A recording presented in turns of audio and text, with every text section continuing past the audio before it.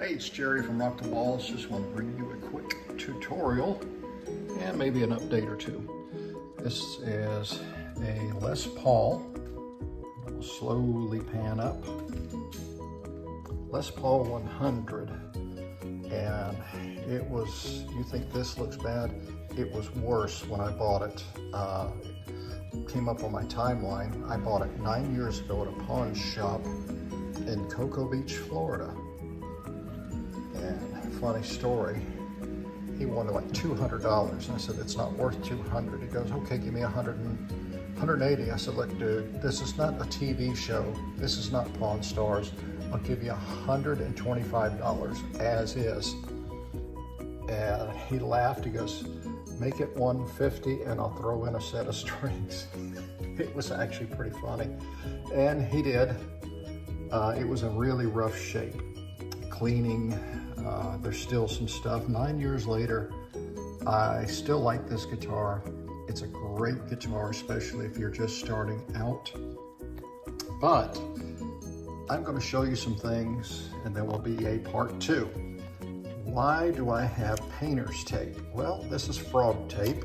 You can use 3M. Do not use just regular uh, masking tape, too much residue.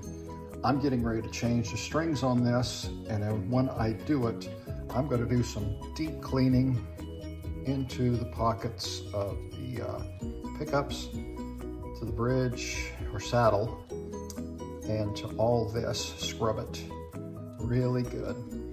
And then we'll lemon oil all of this.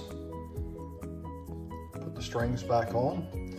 I've already uh, done the what is known as the action or the truss rod. It's been adjusted. Underneath here, you take the screws off and there is a truss rod that you can, with a hex key or Allen wrench, you can adjust the tension and that will adjust the uh, tension on the bridge uh, for the guitar. This is just some basic, basic stuff. If you don't know how to do this, uh, contact a local guitar shop.